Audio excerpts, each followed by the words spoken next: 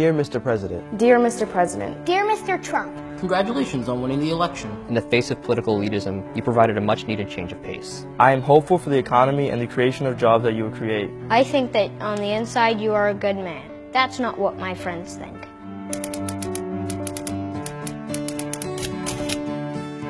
You have banned an entire group of people from coming into the United States, but now who will build this country up from the rubble you will put it under? not letting immigrants into America is really not nice, so please let them in. Just because I'm Mexican doesn't mean you can't build a wall in my country. Please don't build the wall and don't let people have guns. I am happy for you, but well, you are president. Please make the world a better place. We are looking to you to serve us. Please, Mr. Trump, make America great again. Have a good time being president. Sincerely, Ida. Sincerely, Robert Peterson. Sincerely, Mimi. P.S. Please don't build a wall around Mexico. P.P.S. Please, please don't stop the refugees from coming.